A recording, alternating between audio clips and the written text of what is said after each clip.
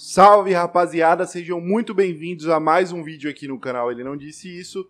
Hoje a gente vai falar do estádio Newton Santos, do Engenhão. Muitos torcedores pedem e muitos nem sabem que ele foi considerado um dos estádios mais modernos da América Latina e até do mundo na época que foi construído, que teve sua obra finalizada lá no ano de 2007. Mas a gente vai contar tudo isso aqui, então fique calmo, fique tranquilo, que é um estádio muito legal para se conhecer e para saber os motivos que levaram ele a ser tão importante assim. Não se esqueça de se inscrever no canal, deixar o like nesse vídeo, porque o seu like ajuda e ajuda muito. A gente bateu já os 70 mil, estamos quase chegando nos 71 e eu quero chegar a 100 mil o quanto antes, porque eu acho que vocês são os melhores fãs do mundo. Então eu acredito que vocês vão me ajudar a chegar nessa meta de 100 mil para a gente ter essa placa aí e chegar muito mais longe do que isso. Então, para isso, deixa muito like, se inscreva no canal, divulga aí o vídeo pra geral. Tamo junto, vamos falar do Engenhão, que é a melhor parte desse vídeo.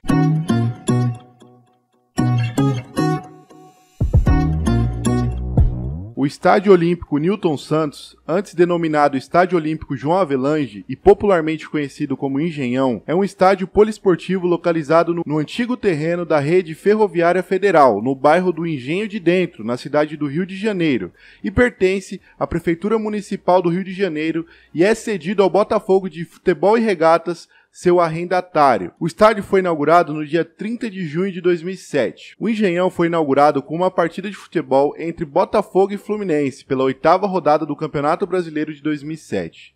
O convite foi feito pelo prefeito César Maia, duas semanas antes do clássico pois o Maracanã, anteriormente definido como local do confronto, teria de ser fechado para os preparativos de abertura dos Jogos Pan-Americanos. Cada ingresso para o evento foi trocado por uma lata de leite em pó que ajudariam instituições carentes. E as entradas, divididas em 20 mil para cada time, esgotaram-se logo no primeiro dia de trocas, com os demais lugares tendo sido ocupados por servidores da Prefeitura do Rio de Janeiro, financiadores do estádio. Antes do início do clássico vovô, houve uma apresentação da Banda da Marinha e do Corpo de Bombeiros. O jogo foi vencido pelo Botafogo por 2 a 1 e teve Alex Dias do Fluminense como autor do primeiro gol do estádio, aos 27 minutos do primeiro tempo.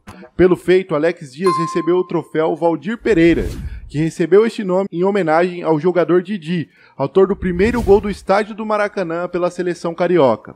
A virada do Botafogo aconteceu com dois gols de Dodô, o primeiro em um pênalti, sofrido por André Lima aos 6 minutos, e o segundo de cabeça aos 32 minutos. Com a vitória, o clube alvinegro recebeu um troféu, dado em homenagem ao primeiro vencedor do estádio, o jogo teve um público de 43.810 espectadores. A partir de 2015, a pedido do Botafogo, gestor do estádio, o nome fantasia do local foi alterado para Estádio Newton Santos. A homologação do pedido foi feita pelo Botafogo no final de janeiro de 2015, aconteceu por meio de despacho publicado na edição de 10 de fevereiro de 2015 no Diário Oficial do município.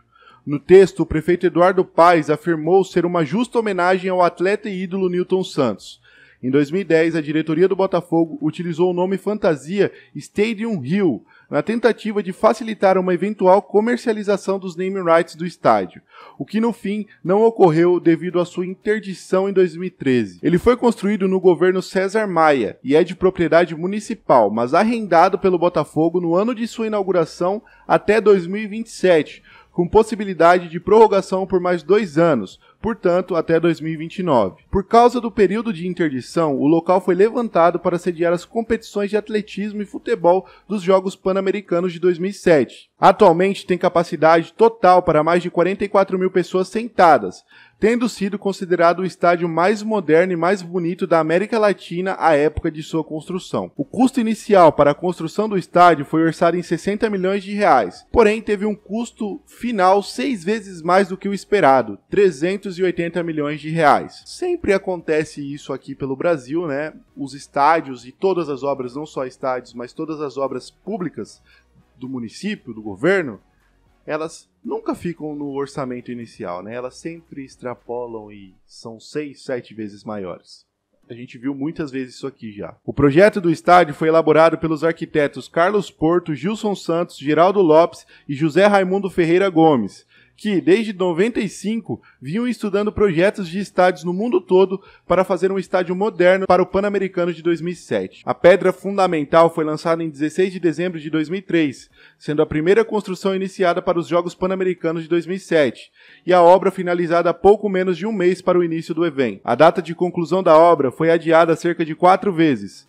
Estava prevista para ser concluída em meados de 2006, passou para o final do mesmo ano, posteriormente para a metade do primeiro semestre de 2007, até a semana de sua inauguração. As obras foram administradas pelo consórcio Odebrecht e OAS, sob fiscalização da Rio Urb, da Secretaria de Obras do município do Rio de Janeiro. Cerca de 4 mil homens trabalharam na construção do engenhão. Durante as obras foi registrado um óbito, a do operário Odair Dama da Silva, de 27 anos, que não resistiu aos ferimentos causados por uma queda de aproximadamente 14 metros de altura em fevereiro de 2007. No mês seguinte, houve uma greve dos operários, reivindicando melhores condições de serviço, que logo foi contornada. O anel de concreto do estádio foi fechado em setembro de 2006. O gramado do campo foi plantado em abril de 2007. Foram 260 rolos de uma grama especial para o estádio. As cadeiras da arquibancada foram instaladas após este processo. A iluminação foi testada pela primeira vez há duas semanas da inauguração oficial. Para a partida de inauguração do estádio, Botafogo contra Fluminense, os goleiros dos clubes fizeram três dias antes a inspeção da iluminação e do gramado. No dia do jogo, uma pequena porção das arquibancadas inferiores atrás do gol direito, as cabines de televisão, não tinham sido instaladas. Durante o PAN, o mesmo local ainda carecia das cadeiras, sendo corrigido apenas após o evento continental. Os reparos de manutenção do estádio foram orçados à época da licitação ao patamar de 400 mil reais por mês. Todavia, foram pontuais alguns gastos, como feito em maio de 2008, quando foram duplicadas, em parceria com a empresa telemática, as catracas das alas leste e oeste, passando de 10 para 20, mantendo o número de 10 catracas nas alas sul e norte. Benfeitorias voluntárias também foram realizadas no setor oeste inferior, de modo a comportar o setor VIP, administrado pela Outplan, entre maio de 2008 a outubro de 2009. Foram instaladas fotos, bandeiras e adesivos ligados ao Botafogo, além de redecoradas as instalações, como as lanchonetes. Entre dezembro de 2009 e janeiro de 2010, foram realizadas obras no estádio para a implantação de, uma, de novas lanchonetes e restaurantes, constituindo assim uma moderna praça de alimentação na arena. Houve um projeto de ampliação da capacidade do estádio para 60 mil espectadores. Essa era uma exigência do Comitê Olímpico Internacional para a realização das Olimpíadas. Seriam construídas arquibancadas superiores nas alas norte e sul, fechando o anel superior do Engenhão. Com a confirmação do Rio de Janeiro como cidade sede dos Jogos Olímpicos de 2016, esteve em pauta a ampliação do estádio, sendo o início das obras que não interditariam o estádio previsto para 2013. O estádio seria o primeiro na história olímpica como sede exclusiva do atletismo. Até Londres 2012 era comum, porém não obrigatória, a realização, de, a realização dos eventos do atletismo no estádio olímpico principal. No caso dos Jogos Olímpicos de 2016,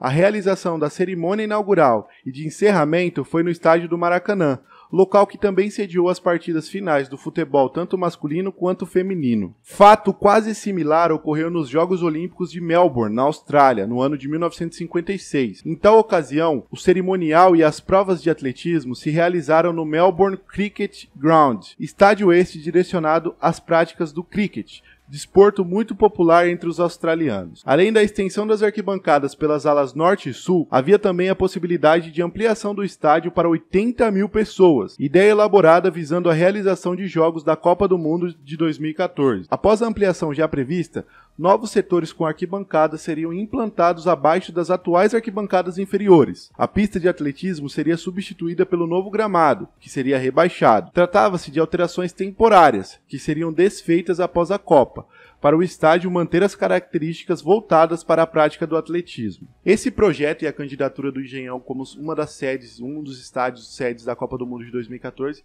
foi descartada pois o Rio de Janeiro, a prefeitura do Rio de Janeiro, o governo do Rio de Janeiro apresentou apenas o Maracanã como projeto para ser sede da, da Copa do Mundo como representante do Rio de Janeiro. Então, logo isso foi descartado. O estádio é conhecido popularmente com o nome de Engenhão, devido à sua localização no bairro do Engenho de Dentro. O estádio Newton Santos ocupa um terreno de 200 mil metros quadrados, em 128 mil metros quadrados de área construída. Possui quatro entradas, chamadas Sul, Leste, Norte e Oeste. A Supervia, empresa que administra os trens e a prefeitura, firmaram um acordo para a construção de uma passarela que liga a estação à entrada do estádio. Dentro da estação foram instaladas escadas rolantes e catracas eletrônicas, além de terem sido construídas novas bilheterias da Supervia na direção da passarela. O total gasto com as obras nos arredores do estádio chegou a 20 milhões de reais. No estádio Newton Santos, Além de se encontrar um campo de futebol com grama natural de tamanho 105 por 68 metros, há também uma pista de atletismo com nove raias no padrão standard, dois setores para salto triplo e em distância, um para salto com vara, outro para salto em altura e uma pista de dardo. Toda essa estrutura se repete no campo anexo ao estádio, utilizado para alguns treinamentos. A estrutura do estádio Newton Santos defende uma arquitetura desafiadora, destinada de início a acomodar 46.931 espectadores. Compreende a sustentação de quatro seções de arcos tubulares que, por sua vez, apoiam dois mezaninos em forma de anéis, os quais, segundo os cálculos de engenharia, são projetados para sustentar as acomodações, que são as arquibancadas, de 23.688 lugares no anel inferior e no superior de 21.549 lugares, onde inclui-se mais de 250 para cadeirantes. O estádio possui também 125 assentos em sua tribuna de honra e mais 78 camarotes com capacidade para 1.239 convidados. Possui 16 cabines de rádio e 4 para televisão. Ao total, o tempo máximo para esvaziamento completo do estádio do Engenhão em caso de tumulto é de 10 minutos, que é um tempo bastante satisfatório segundo relatórios do Corpo de Bombeiro. Sua cobertura de 35 mil metros quadrados de área recobre todos os assentos, servindo de proteção para chuvas e criando sombra ao sol. O engenhão também apresenta quatro arcos em sua parte superior, remetendo grande semelhança ao Estádio da Luz, onde foi disputada a final da Eurocopa de 2004 em Lisboa. Ao todo, são cinco níveis de corredores no estádio, sendo o primeiro destinado exclusivamente a atletas e profissionais ligados aos eventos e os outros quatro ao público. Na entrada, o espectador encontra à sua disposição 72 bilheterias e 57 roletas eletrônicas distribuídas pelas quatro alas. Internamente, são 60 banheiros e 22 bares, além de uma área de 3.650 metros quadrados para exploração de lojas. Dois telões transmitem os eventos ao vivo e mais dois placares eletrônicos computam os resultados dos jogos. O estacionamento do estádio passou a funcionar para todo o público apenas em 2008 e ele possui 1.660 vagas cobertas. Também há 220 vagas para autoridades e convidados, 10 para ônibus e 7 para caminhões e geradores de televisão, além de um setor para carga e descarga. Existe um edifício anexo, localizado à ala oeste do estádio sem finalidade administrativa no momento, porém é o local onde se encontra um busto em homenagem a Garrincha, que foi transferido do casarão de General Severiano para o estádio. Ainda nessa ala, mas do lado de fora do estádio, localiza-se a estátua de 2 metros de altura, feita em bronze do também ex-jogador alvinegro bicampeão mundial Newton Santos, que atualmente dá o nome aí ao estádio, né? O nome fantasia que o Botafogo colocou no estádio foi autorizado pela prefeitura do Rio de Janeiro, um dos maiores, se não o maior, junto com Garrincha, ídolo da história do Botafogo. Nos Jogos Pan-Americanos de 2007, o estádio Newton Santos sediou as competições de futebol e atletismo. A seleção brasileira fez sua estreia no estádio em 10 de setembro de 2008, com um empate de 0 a 0 contra a Bolívia pelas eliminatórias da Copa do Mundo de 2010. A partida foi marcada pelo baixo público com apenas 31.422 pessoas e pouco mais de 20 mil pagantes, sendo que 39.500 ingressos foram postos à venda. Em 2011, o novo palco carioca recebeu um evento não esportivo. Nos, nos dias 22 e 23 de maio daquele ano, o estádio recebeu dois shows, do ex-Beatle Paul McCartney.